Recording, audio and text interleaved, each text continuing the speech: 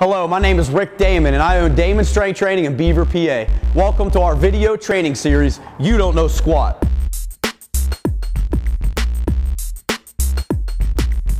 The second part of our um, how to perform a hang clean from a power position is we're going to go over how not to.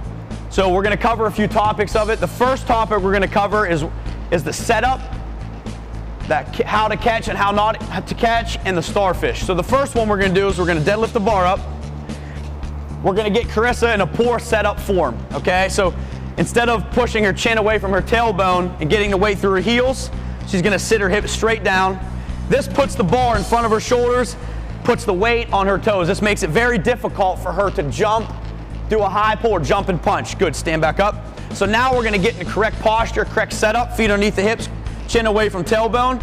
So neutral spine, she's good here, good positioning, all the weights distributed evenly, driving in through her heels. Good, that's the position we want. Good, stand back up. So now we're to uh, catch the bar incorrectly like we would press it. Go ahead. Go. So right here, Carissa catches the bar like she's to press. Her elbows are underneath her wrist, puts a lot of pressure in her wrist. Now she's to get in the position that she wants it correctly. So when a coach says jump and punch, this is the punch position, and the bar's resting on her uh, shoulders as if she would want to get into a front squat. Good, back down. So now Chris is going to demonstrate what we call starfish catch, puts her feet are out extremely wide. Go.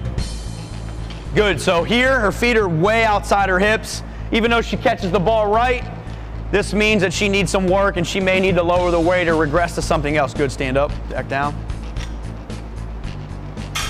So from here you have the option to lower the weight, go back to the high pull and continue working that.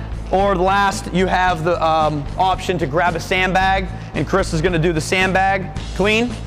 It's the same exact position, set up, jump, punch, it's just with a different tool. Go ahead, two reps. Good, go. Good, we like to use these sandbags, last one, it's just a little bit safer. Um, good, go. And it just gets us back to reinforcing technique for our uh, hang clean power position. Nice work.